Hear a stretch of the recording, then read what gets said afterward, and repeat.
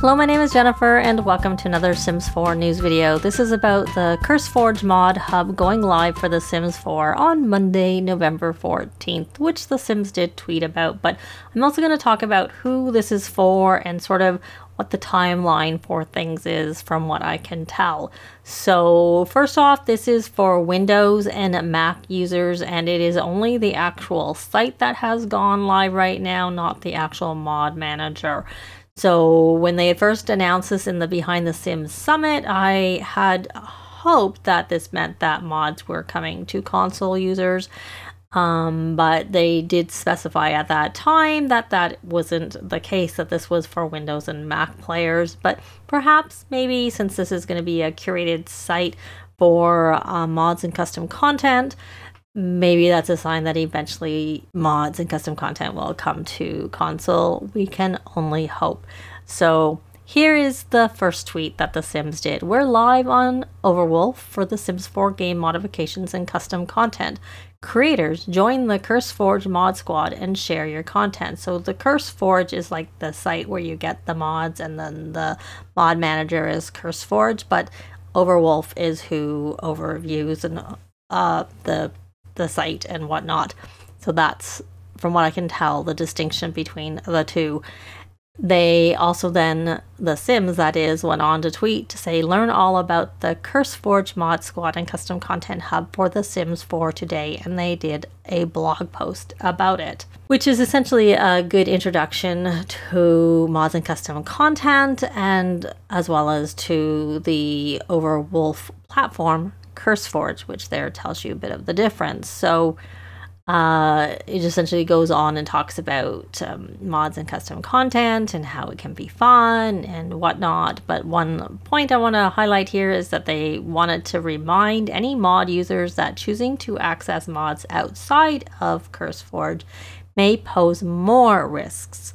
Always back up your data and proceed with caution as you venture into the world of mods. But this can be helpful if you're new to the world of mods and custom content because it gives you somewhere to start that you know has been essentially curated by the uh, EA's partner, Overwolf. They then went on to give some definitions of some terms that are commonly seen, one being user generated experiences or user generated content, which essentially the mods and custom content are things that are created by the users. Uh, mods is a general term for player made content, which modifies the game. And then you have game mods, which adds new gameplay features or changes for how the game functions. Um, they're also sometimes called script mods. They add new script code. There are also things called tuning mods, which aren't mentioned here. They just tune things a little bit as opposed to completely changing things. And of course, you then have custom content, which is often abbreviated to CC, and that gives you lots of things like hairs, accessories, build buy objects, and furniture. And then, of course, you then have the Maxis match versus the Alpha CC, and Maxi match matches sort of the game, and Alpha tends to be more realistic and detailed. Of course, neither is wrong, but you have to keep in mind that if you do want to use Alpha CC, due to its detailed nature, it requires more computer processing power and may cause performance issues. So you probably better use that type of custom content if you have a stronger computer. And then they have more details and links there. Of course, I will link to the tweets and the blog post and anything else in the description down below. They then go on to talk about The Sims 4 and Overwolf, and they just talk about how there's a lot across multiple platforms, and as a beginner, finding mods and custom content can be frustrating. So this is hopefully gonna, you know, help with that. And then also they show a video from Carl Sims on installing mods and custom content. So if you are new, you might want to go check that out. So Overwolf will provide players with a safe, moderated custom content hub to download and share player creations with the community. So essentially, it's just making it a little bit easier. However, you can continue to use and get mods and custom content the same way that you do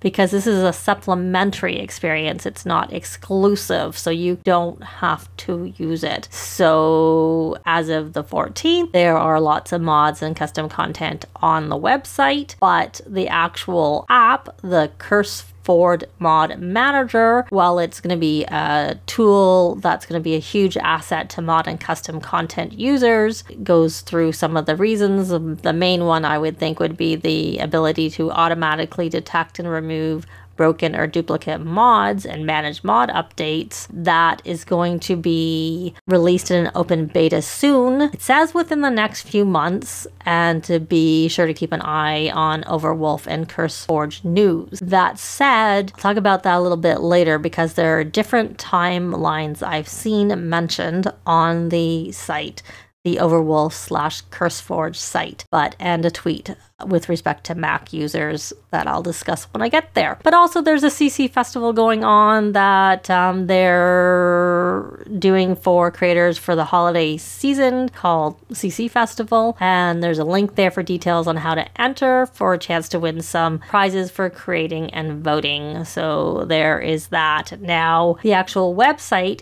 is available and it does have, you know, almost a thousand mods and custom content. So obviously, and I show there some of the total, the top downloaded mods as of now.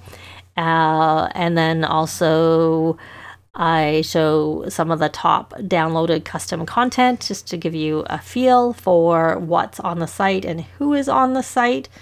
And again, here's that was custom content for Sims, create a sim, and then here is some custom content for build buy mode, just the top ones on the first page, but they all have a few multiple pages the one that has the most pages was the custom content for Sims. But um, one thing I did notice that is if you are an MCCC user, they only have actual MCCC. They don't have MC Woohoo on the site. I scrolled through all of the pages and I did not see it there. However, these do link back to the original creator, so you can always go there and get things that are missing because of course these mods and custom content cannot change the game rating, and I guess maybe MC Woohoo is a little bit um, there where it does. So I'm not really sure. But moving on, when I did test download MCCC, it did prompt me to try and download the CurseForge mod manager. So I did, just because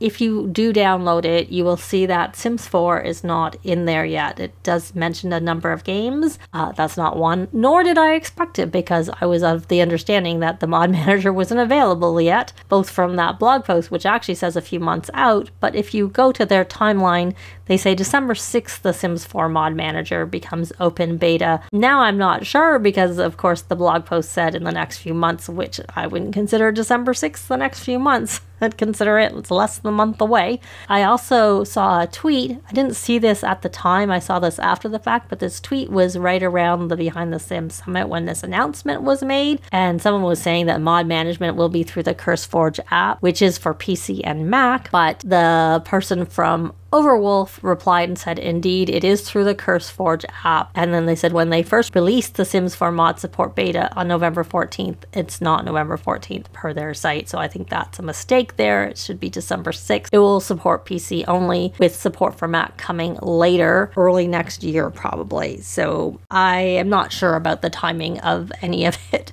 because their website said December 6th and then this says Mac coming later, early next year, probably. And of course, the EA blog post said in the next few months. So hopefully it'll come soon enough. I'm still a little bit, you know, kind of pondering as to how it's actually going to work, but we'll find out more later.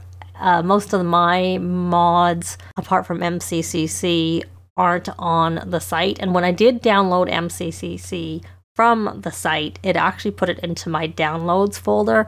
And obviously, you could probably, I think you could choose where it went. I can't remember because it didn't really matter. I was just testing it, which I preferred. I prefer to be able to control putting it where I want, but from a making it easy for uh, someone new doesn't strike me as that easy really it means you still need to know what you're doing. But anyways, let me know if you've checked out the site and what you think about it and if you're planning on using it exclusively or if you're going to use it to supplement or not use it all in a comment down below. But that's going to be it for this video. Likes and comments are always appreciated and they really help with the algorithms. Thanks very much for watching and I'll see you next time. Bye!